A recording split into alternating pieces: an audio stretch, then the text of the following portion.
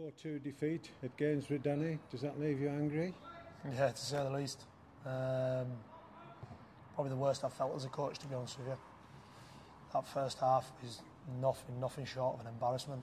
Not one player came off that pitch in the first half with any sort of credit, um, and, and that's that was a that was a scary thought, to be honest with you, Steve. Um, it's the first time I've looked at a team and thought I'm embarrassed to put my name to it. And it's my team. It's my team. It's not the lads. It's me. Um, I pick players. I, I bring players in, not just on football ability but mentality as well.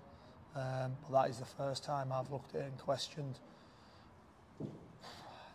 what I, what I was watching. To be honest with you, the basics of football are incredible. First goal is a long throw. We, they actually get lucky. We get away with the first one we don't get set quick enough, throw it in the box, it bounces in our six yard line, yeah. no one takes responsibility. The second goal, we have a throw in.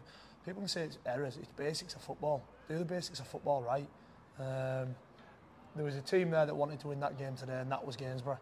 And there was a team there that was there to play a game of football. And that, in the second half, it's probably even harder for me to take, to be honest with you. I think if we go and get beat three or four nil, you look at it and go, do you know what? It's a bad day at the office. Let's write it off and go again. But the second half showed that we're more than a match for them, and, yeah. and, and that's that's the biggest frustration, to be honest with you. Having said all that, I mean uh, the stats point to uh, us being very much in that game uh, in terms no, of possession. No, no, I'm not having that. Chances, no, corners. No, not having it. Not having it. Right. There's one team there that wanted to win the game more than the other, and, and credit to Russ and his team. They've, they've got a squad there and obviously Russ came in when they were in trouble and, and he's assembled a squad there of men that want to go and win football matches. And the, the biggest thing for me was the will to run in the first half was much greater in the Gainsborough side than there was in ours. And that's that's an absolute crime to be honest with you. An absolute crime. And we can say all we want about stats and all that sort of thing. The easiest time to play football is when you're 3-0 down. That is the easiest time to play football because let's be honest the game's done and, and look, credit to the boys, they kept going, they dug in. Even the fourth goal, it's, it's an embarrassment, to be honest with you. Um, but would, you, would you accept that they did redeem themselves no, slightly? No, not in the slightest. Right. Not for me. Uh, you've self-pride as a player, as a coach, is that it's, it's no good turning up for 45 minutes. There's a 90-minute match there. The game was done at half-time. Yeah, we got back into it at 3-2, but it's nowhere near good enough. It's not good enough, and I'll take the blame because I've probably look for me, I've give the, the lads a little bit of an excuse that obviously with my leaving, um, things like that.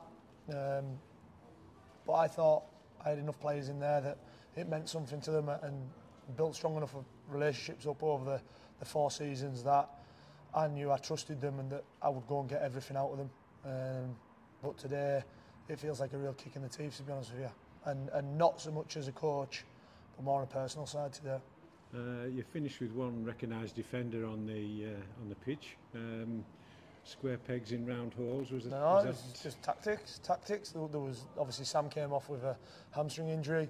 Um, all the other substitutions were tactical. Right. If you don't do your job, you don't stay on the pitch. I don't care if it's the first half or the last minute. If you don't do your job, you, you don't want to do, do it properly. Um, and that isn't slighted at just one. Look, I could have took any single one of them, and from Jim right the way through to um, the, the top line and in the first half. Not one of them could have complained about coming off at half time. They were absolutely miles off it. They were bullied physically. They were ran over the top of. And that is something that, as a, as a footballer, as someone who plays football, that's got to hurt. I, that, that, the one side of your, your game you can control is the mentality and the running. Now, everyone's allowed to have a bad game, everyone's allowed to make mistakes, but not to have that is an absolute crime. So you feel let down. What uh, what would you be looking for next week? Will you get that response from them? We'll find out, won't we? Do you know what I mean? The, the people have got to show me Tuesday, Thursday that they want to start on Saturday. Um, I'm going to pick my team this week on who trains the best. Um, I've probably been loyal to a lot of players at this place because of, of what we've done over the last four years. Um, if players aren't willing to do it in training on Tuesday and Thursday, um, they won't play on Saturday or Monday. Uh, we've got two of the young development lads training with us this week, obviously with the quick turnaround and if um, if they do well in training, they'll get their opportunity on Saturday. Danny, thanks as ever for your honest assessment. Cheers, Steve. Thank you.